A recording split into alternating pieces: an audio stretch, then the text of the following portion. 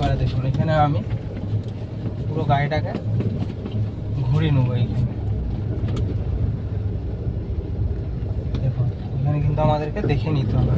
আমি এমন পজিশনে গাড়িটাকে নিয়ে ঘুরালাম, দেখতে আমাকে মেজারমেন্ট করে আমাকে এই জায়গাটাই বেরিয়ে যেতে হবে। এবার আমি ডান দিকে পাবো ইন্ডিকেটার দেবো ডান দিকে, এখানে ব্রেক করলাম। এখানে ব্রেক করলাম। নর্মাল ব্রেক করবেন সেকেন্ড গিয়ার দিয়ে দিবেন।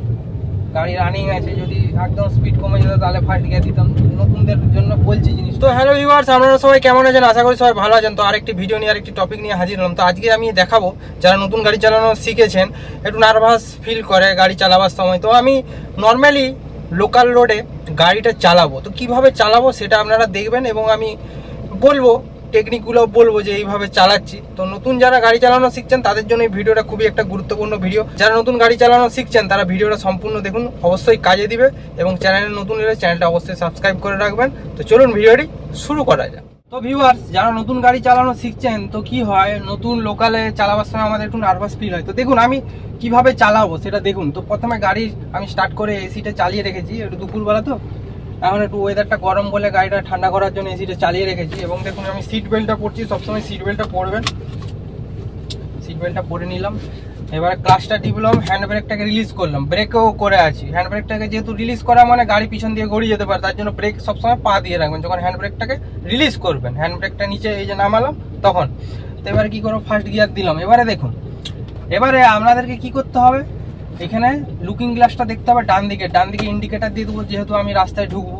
এই যে মোরাম রাস্তা দিকে ডান দিকে, তো পিছনে একটা টোটো আসছে। টোটোটা পেরিয়ে গেলে এখন ফাঁকা আছে বাইক অনেক দূরে আছে। আমি এবার আরামসে দেখুন, ডান দিকে আমি চলে গেলাম। দেখতে পেলেন তো? ডান দিকে যে ডান দিকে লেনতে গেলাম। বেশি আবার আমি ডান দিকে চলে যাইনি, যাতে এই যে এই দিকের যে গাড়িগুলো আসছে, এই যে সামনে ট্রাকটা আসছে, তাদের না অসুবিধা হয়। তো সেটা মেজারমেন্টটা আপনাদেরকে হচ্ছে দেখে নিতে হবে। দেখুন, এখানে টোটোটা ঢুকে যাচ্ছিল, আমাকে হালকা বাঁ দিকে একটু চাপতে হলো। এগুলো দেখে চালাতে হবে। মেজারমেন্টের সবসময় আপনাদেরকে করতে হবে ডান দিক, বাঁ দিক। বাঁ দিকে সবসময় বলেছি যে, এই যে গাড়ির যে মিডিল পোর্শনটা আছে, ড্যাশবোর্ডের মিডিল পোর্শনটা আমাদের বাঁ দিকের যে জায়গাটা আছে, সেইখানে লাস্ট আছে। তো সেটা আপনাদেরকে দেখে নিতে হবে। এবং ডান দিকে আমাদের যে ওয়াইপার প্লেটটা যেখানে শেষ হচ্ছে সেখানে হচ্ছে আমাদের ডান দিকের চাকাটা আছে। তো আমি গাড়িটা এখানে, আগে গাড়িটাকে আমি ইউ টার্ন করব, ঘুরাবো পজিশন অনুপাতে। সেটাও দেখতে পাবেন আমি কি করে গাড়িটাকে ঘুরাবো, সেটাও দেখতে পাবেন। এখানে স্পিড ব্রেকার আছে। এখানে গিয়ারটাকে আমি ফার্স্ট গিয়ার দিয়ে দিয়েছিলাম, একদম গাড়ি স্লো হয়ে গেছিল। তো দেখুন, এখানে আমি ডান দিকে গাড়িটা ঘুরাবো। ডান দিকে একটা জায়গা আছে পজিশন আছে, ওখানটায় আমি ডান দিকে ঘুরাবো। তো আমার দেখে নিতে হবে লুকিং গ্লাসগুলো যে ঠিকঠাক আছে কি না লুকিং গ্লাসটা ঠিক সেট করতে হবে। দেখুন ইন্ডিকেটার দিয়ে দিলাম, একটা বাইক আছে।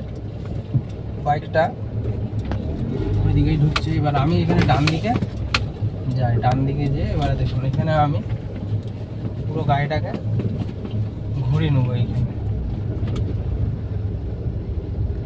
দেখুন এখানে কিন্তু আমাদেরকে দেখে নিতে হবে। আমি এমন পজিশনে গাড়িটাকে নিয়ে ঘুরালাম, দেখতে পেলেন? একদম এক চান্সে কিন্তু গাড়িটা কিন্তু কেটে গেল। তো সেই হিসাব করে আমি কিন্তু গাড়িটা ততটা কিন্তু আমি টার্নিংটা নিয়েছি। এটাও ব্যাপার আছে, গাড়ির আপনার যে লম্বা চওড়া অনুপাতে কিন্তু আপনার গাড়িটাকে টার্নিংটা নিতে হবে, সেই পেস অনুপাতে। সেটা একটা আইডিয়ার ব্যাপার আছে, আপনার অভিজ্ঞতার সেটা আস্তে আস্তে চলে আসবে। তো গাড়ির যে মেজারমেন্টটা ওই জন্য বলি, আমার যে ডান দিক বাঁ দিকের যে মেজারমেন্টটা তো কতটা আমি রাস্তা চেপে গাড়িটাকে এক এক চান্সে গাড়িটা ঘুরাবো, সেটা কিন্তু আপনাদেরকে দেখে নিতে হবে যে আমার গাড়ির কী পজিশনটা আছে বা ঘুরে যাবে কি না সেটা কিন্তু আপনাদেরকে গাড়ি থেকে নেমে, গাড়ি চালানোর আগে একবার গাড়িটা চারপাশটা দেখে নিতে হবে। আপনি সেই গাড়িটা চালাচ্ছেন তো ঠিক আছে, আপনি জানেন। যদি নতুন কোনো গাড়ি থাকে, তাহলে আপনাকে সেটা দেখে নিতে হবে। তো দেখুন, সামনে গাড়ি আসছে। এখন তিন নম্বর গিয়ারে ছিল আমি চার নম্বরে করলাম রাস্তাটা একটু এখানটা চওড়া আছে। দেখুন, এখানটা একটু টানছি আমি।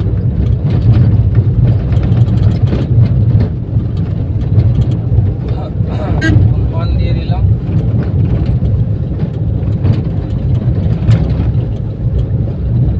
এখানটা একদম ফাঁকা আছে এই রাস্তাটা।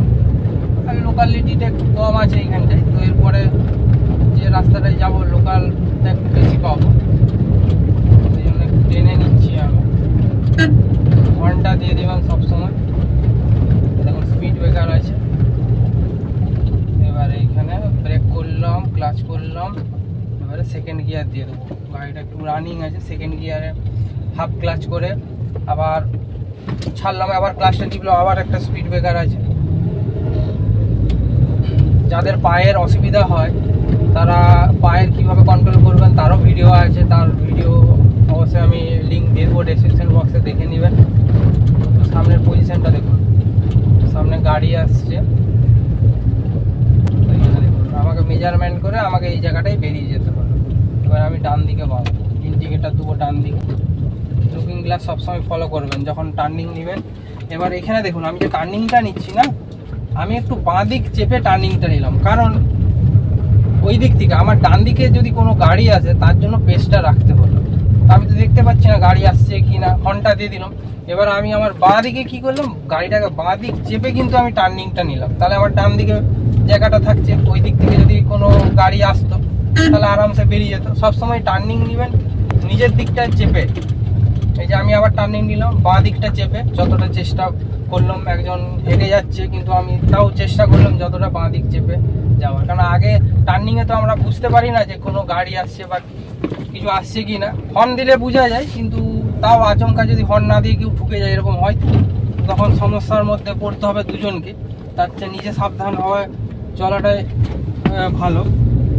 তো এই যে ছোট ছোট জিনিসগুলো আমাদেরকে কিন্তু এগুলা জানতে হয়। এইভাবে এগুলো নতুন অবস্থায় কিন্তু এই জিনিসগুলো কিন্তু ভুল হয় টার্নিং এ, বিশেষ করে, আমি দেখেছি।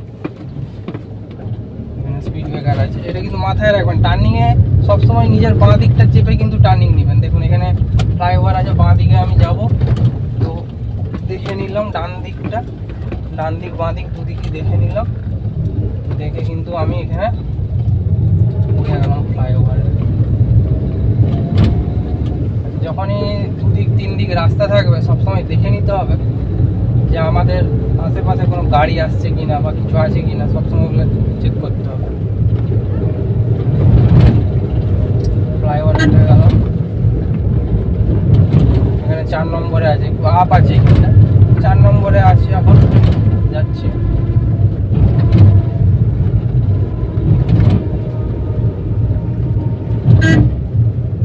হর্ন দিয়ে দিবেন, আপনার গাড়ি যদি স্পিডে থাকে ব্রেক করতে হবে।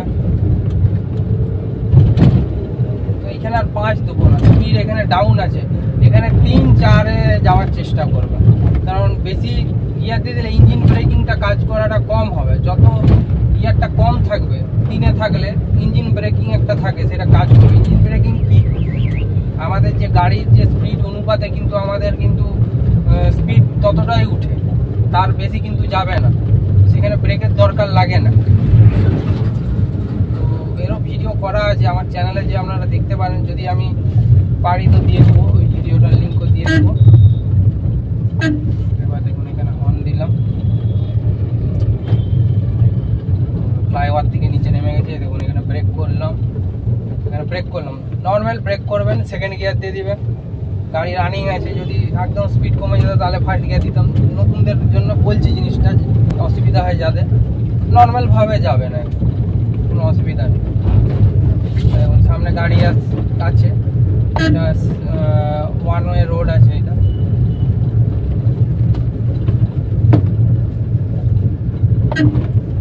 দেখুন, এই গাড়িটার পিছনে এখন আমাকে যেতে হবে। এখানে ওভারটেক করতে পারব না। ওয়ান ওয়ে রোড আছে, জায়গা নেই। সাইডে যদি সাইডে দেয় তাহলে হবে। একটু গাড়িটার পিছন পিছন যাব। তো একটা ডিস্টেন্স মেনটেন করে আমি যাচ্ছি। যাতে ওই গাড়িটা যদি সার্টেন ব্রেক মারে, তো সেই গ্যাপটা আমাকে রেখেও কিন্তু চালাতে হবে।